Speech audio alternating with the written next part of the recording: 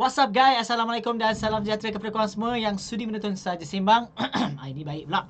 Ha, sejak-sejak dah dapat berita pasal kelulusan 10K ni kan.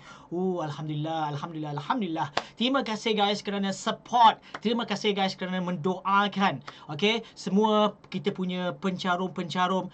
Kita, semua kita punya penyuara-penyuara yang bertungkus lumus. Okay, untuk mendapatkan 10 kelulusan 10K ni.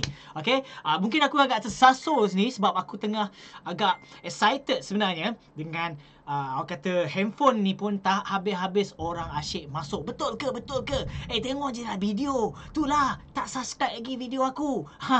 okay, jangan lupa korang bagi korang yang belum subscribe ke channel ini please klik button subscribe dan jangan lupa share dan juga like video ni guys. Okay, dalam episod ni aku nak bagi ulasan sedikit. Okay, dan ulasan ni mungkin agak orang kata mengecewakan korang yang sedang bergembira saat ini.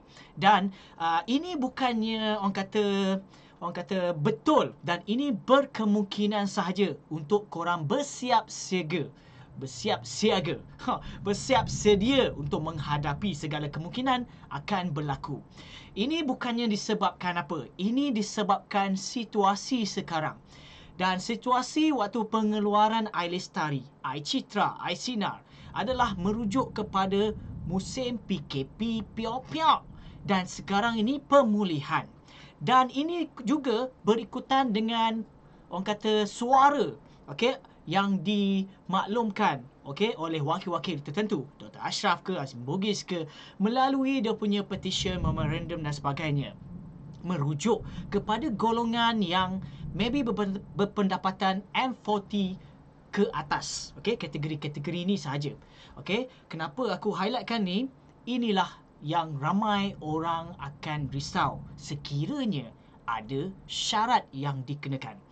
Apakah syarat-syarat yang berkemungkinan akan berlaku? Okey, syarat yang pertama seperti mana yang aku maklumkan tadi, apa yang di-highlightkan, apa yang disampaikan, okey, yang disuarakan sebelum ini, nak sangat 10K ni. Apa alasan Dr. Ashraf sebelum ni? Dia merujuk kepada golongan M40 yang maybe tak menerima tempias bantuan okay, seperti BKM dan sebagainya. So berkemungkinan syarat itu maybe uh, bagi korang yang mempunyai baki yang mesti lebih tertentu. Okay, aku tak tahulah. Okay, ini berkemungkinan. Sebab apa? Kategori B40 pun bakal menerima BKM selepas ini. Tak mungkinlah kalau syarat ini hanya di, uh, tak dikenakan langsung. Macam maksudnya macam BKM, penerima BKM ataupun B40 ini akan menerima banyak lagi. Okey kata, orang kata duit, okey. Bantuan dah dapat, lepas tu uh, dapat peluang lagi, okey, daripada duit ke SP. Hmm. Takkan kot. Tapi ini berkemungkinan saja. Dan rujukan seterusnya berkemungkinan disebabkan kategori pencarum yang baru nak kerja. Korang bayangkanlah. Aku baru je bagi peluang pekerjaan kat orang ni. Baru je orang ni nak bajan menyimpan. Kan? Menyimpan, mencarum okay, dalam kedai SP. Tiba-tibalah kalau bagi kelonggaran ke semua kelayakan ini, maka sekejap je habis golongan-golongan yang baru bekerja ini. Contohlah, baru terdesak, baru-baru kerja kan dapat 500, 600, okey ada 1000 lah, 2000 lah, okey. Maybe dalam tahap 6 bulan macam tu dia dapat 2000 dalam akaun tu tersiar-siar lah.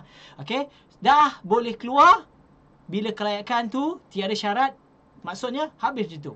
Sebab uh, PM pun adalah hint-hint sikit uh, kata statement beliau. Dia kata dah remind kan kepada mereka yang memerlukan sahaja. Okey, boleh keluarkan. Okay. Memerlukan takutlah syarat ini yang berkait dengan dokumen-dokumen pula nanti. Okay. Ini yang dirisaukan sebenarnya. Sebab itulah gembira ni jangan gembira sangat.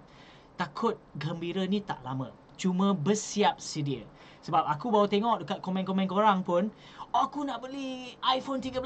Aku nak beli, aku nak belanja korang karaoke. Ah, sabar, sabar, sabar dulu. Ha, okay. Sabar. Save your money first. Okay tunggu sehingga pengumuman yang seterusnya ataupun secara detailnya bakal diumumkan nanti. Okay, barulah korang nak joli ke, kau nak guna duit dengan apa duit korang pun tak kisah. Okay, jadi sabar dulu. Okay, so buat sementara ni belum ada lagi maklumat yang terkini tentang orang kata permohonan dan sebagainya sebab baru je orang kata terkejut. Okay, uh, so sebab itu belum ada lagi uh, bagaimana caranya. Apakah nama baru je nanti. Okey, itu saja perkongsian aku dalam episod kali ini. Diharap sedikit sebanyak memberi info yang terkini daripada channel Salat Simbang. Bagi korang yang baru subscribe ke channel ini guys, please klik button subscribe dan jangan lupa share dan juga like video ni guys. Kufa Izwan, Assalamualaikum.